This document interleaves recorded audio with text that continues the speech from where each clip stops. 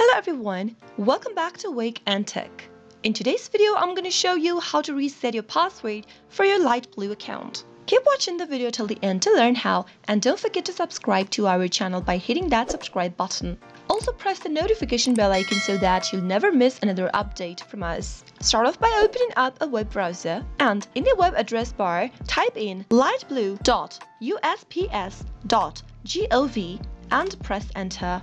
You'll end up in the login portal of LiteBlue employee account. If you know your information well, then you can easily type in your employee ID and your password and click the sign in button and you'll land in your employee account. But in case you forgot your password and you want to reset your password or recover your password, then simply click on this password recovery link beneath the sign in button. Soon after you do that, you'll end up in this self-service profile page over here. Type in your valid employee ID in the text box that appears on the display and click on Verify Employee ID. Soon after you click on that, your employee ID will be verified and you'll be instructed on the password reset process. Simply follow the on-screen prompts and you'll be able to quickly and easily reset your password for your LiteBlue employee account.